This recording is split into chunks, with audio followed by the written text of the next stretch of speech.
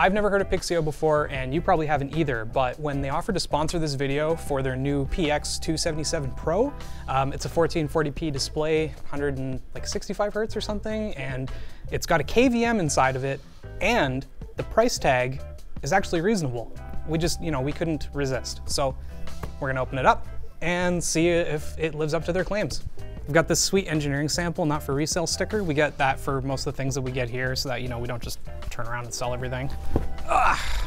What else is on? Yeah, that's why we can't give away stuff. What else is on the box? So there's like nothing on this side. I don't know what David's looking at. Let's turn around. There's nothing on this side either. It's just box stuff. Like, hey, handle the box with care and... Where does it say 144? Oh, wow. yeah, that's actually like kind of refreshing, but also a bit of a pain because I like to be able to just look at the box and be like, okay, it's got this, this, and this. Because you don't always want to like, you know, if you're going to Best Buy, you don't want to sit there and Google every single product. And I, I'm sorry, I don't trust employees to like tell me anything about the stuff they're not harping on Best Buy. That's like almost any electronic store. I just don't really trust them, I guess. So here's the base, here's the stand, yeah. and here's the cable. Warning, to avoid danger from suffocation, keep these bags away from babies and children. Oh, don't let John get a hold of it. Don't let John get a hold it. Thank you for choosing Pixio. Pixio is a gaming monitor and accessories brand that is focused on growing and becoming a reliable partner in the esports community. Although small, we work hard to deliver big. We invite you to take this step with us. Thank you for experiencing gaming at its best with Pixio. Wow. These guys assume that if you're buying this monitor, you know what you're getting already. You don't need reminders. And that's kind of true. Like most of the time when I buy a monitor and it's got all this extra manual and um, and documentation saying like, oh, it's this, it's, it's X, Y, and Z, or it's all over the box. It's like, yep, I know, thanks. I didn't need to know that or look at that or see it or whatever. The only reason I know anything about it is because they sent us a bunch of specs and we've like looked at the website and stuff. And it's supposed to be pretty reasonable. I think it's about $350 or so and you get a 1440p 144 hertz display. I think this is just a couple USB ports and um, some ethernet. It's also got a USB-C display port attachment. So what you can do is you can actually hook up a laptop to this really easily. You don't even need a charger. It'll charge up to, I think, 65 watts. Man, the more I talk about this thing, the more I like it actually everyone's still talking up 4K and even 8K, but the reality is like who can run that? Like I have a pretty nice computer with a 3070 and a 9900K and I can't run 4K. Like I can, but it's, you know, like maybe 60 FPS if I tone down settings and stuff, but I'm kind of a graphics snob and so I like to have everything at least at like very high or high. I mean ultra if possible, but we've done a whole video on why that's kind of dumb. But 1440p is manageable. Like I can get really high frame rates in most new games at 1440p. I'm playing God of War right now. Boy! And while streaming on the same card, I can get like 100 frames per second or so on very high settings. So I'm pretty happy. Uh, okay, so one minor complaint already is it doesn't use that toolless system that a lot of other monitors use. It uses this three screw uh, system to screw into the base. They probably could have gone with a single screw just right in the middle like most other monitors. I mean, this thing isn't huge. It's like 27 inches. So that's the KVM, I'm guessing. And then there's your power, uh, USB delivery, and HDMI 2.0, 144 hertz, DP 1.2, 160. You know, I really like that these are all labeled. Um, and not just labeled, like they don't just say HDMI or DisplayPort or whatever. They, it says HDMI 2.0, 144 hertz. It tells you what it is, it tells you what it can do. Even with the Type-C charging, it tells you it can do 65 watts, uh, and it can do 165 because it's basically DisplayPort, uh, and then a headphone jack. So yeah, points to them. Um, it doesn't do a couple other things we noticed, like it doesn't, I'm pretty sure it doesn't go vertical. No, I want to try to bend it a bit more, but I'm pretty sure it's just gonna break. Um, so yeah, you can't like tilt this vertically, but you know what? Not many people even do that. Especially not if you've only got like one monitor who uses a, a single monitor vertically. I do. Yeah. Look at my stomps. yeah. One nice thing, just uses my favorite little feature, navigation nipple, and it looks like that's all you get for your menu controls, which is perfectly fine. It's pretty thin bezel too.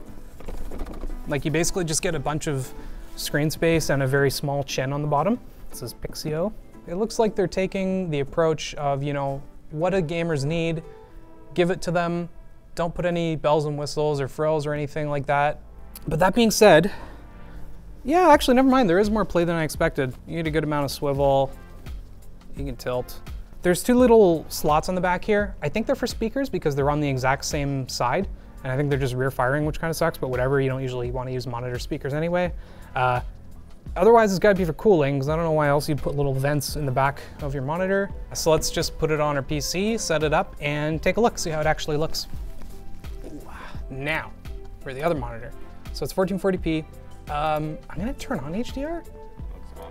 Looks off, but I mean, this is what Windows looks like with HDR on. It's not good on monitors. It's just not. Like mini LED, when we get there, I mean, they're gonna be expensive as hell when they launch, but man, they look really nice. And they're gonna have proper HDR with like really good full array local dimming with like 500 plus zones. Um, but that's gonna cost you an arm and a leg. Like uh, over a thousand dollars for a 1080p or 1440p monitor. I mean, it basically looks like I expected it to. This thing has something like 130% coverage of uh, sRGB, um, like 97% DCI-P3 and 96% Adobe RGB, which is the majority of it. So it colors a pretty, it colors, it covers a pretty wide color gamut, which is always a plus. As for accuracy, it's not tuned out of the factory or anything, but the fact that you have access to those colors mean that means that you can try to calibrate it yourself, especially if you have the proper equipment to do so. Uh, as for brightness, it gets up to like 450 nits. Let's blast a white screen.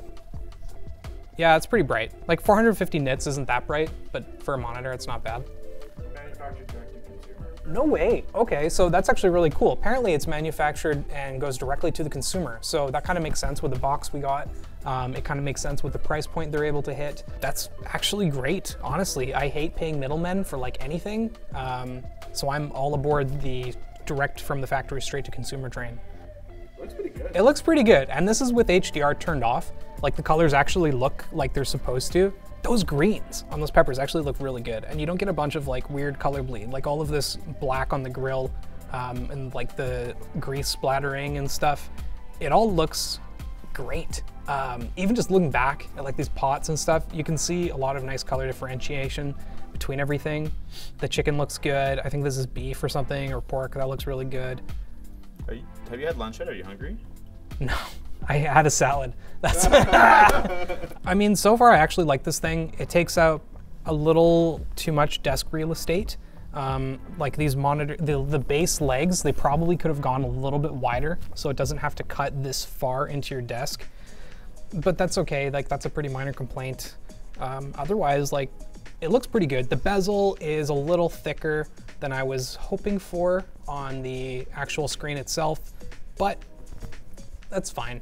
They do have an inside bezel on the chin, which is a little unfortunate. It's it's a pretty minor thing. You're gonna end up with the same kind of screen real estate overall. It's just when you have the chin, you can usually put the plastic up a little higher so that it hides that bezel completely so that like the screen looks like it just disappears into the bottom. Otherwise, everything looks really good so far. Even though this one here doesn't say G-Sync capable like our Asus monitor does right there, uh, there's a good chance it's just a driver thing. Like this is pretty early. I think this comes out around March this year.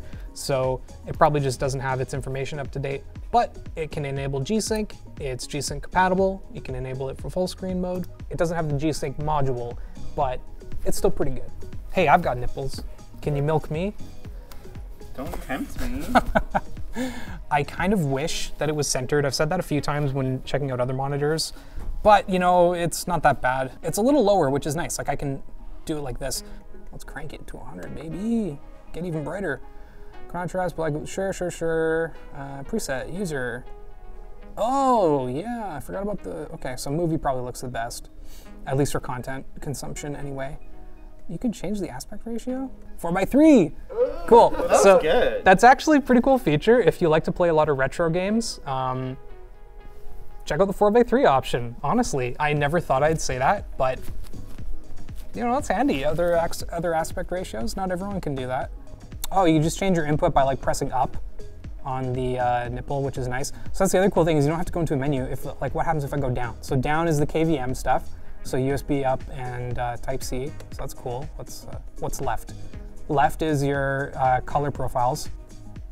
That's actually really handy. I really like what they've done here. Right is the crosshair stuff if you want it, and an FPS counter, which is great. Oh, it's got timer too.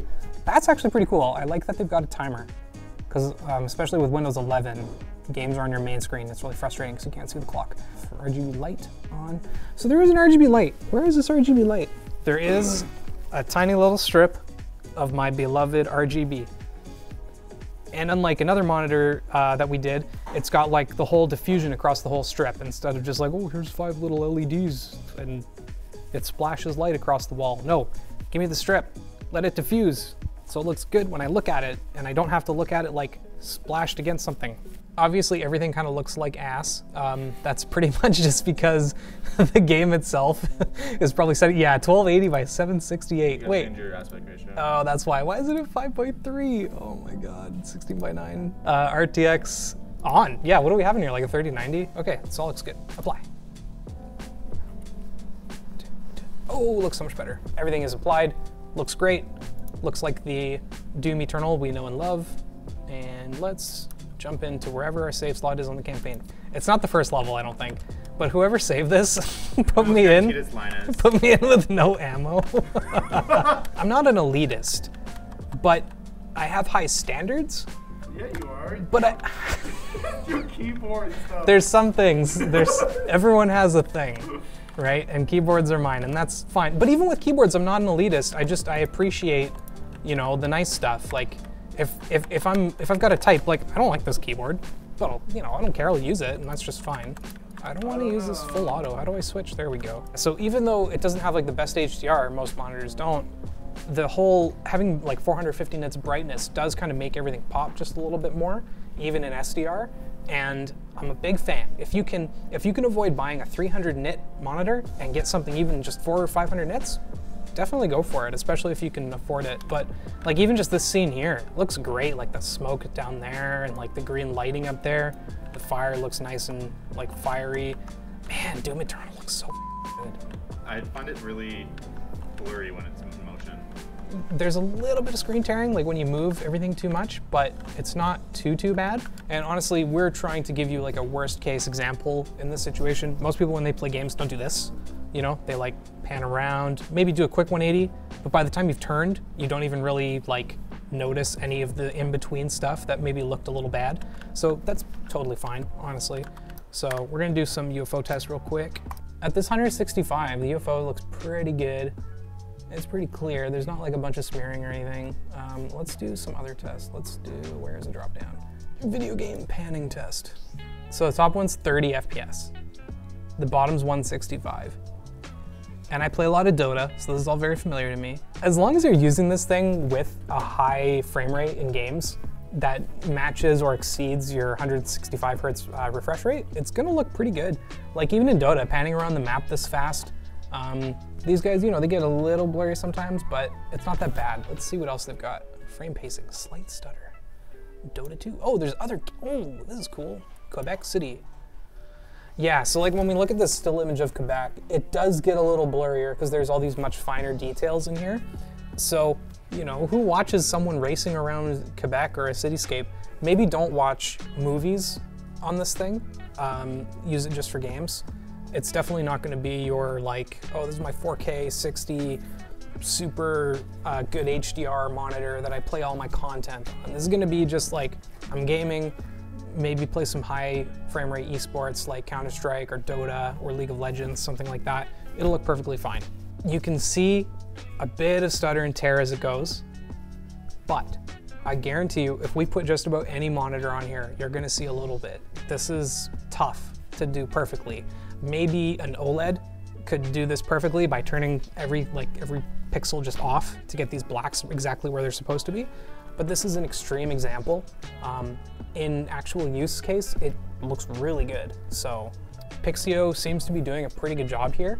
The PX277 Pro uh, is this guy here, and it's gonna be less than $380. It's gonna be out in March, and honestly, if you're looking for a new monitor, you want 1440p, you want a high refresh rate, it's not a bad buy.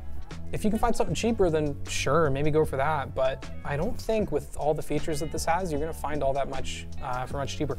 If you do wanna pick one up, take a look at the link below. We'll have it available there for you. And if you want to watch any other short circuits, take a look at the Corsair Xeneon monitor that we unboxed. That thing has a worse stand than this, uh, but it's still a nice monitor. It's a very multifunctional monitor.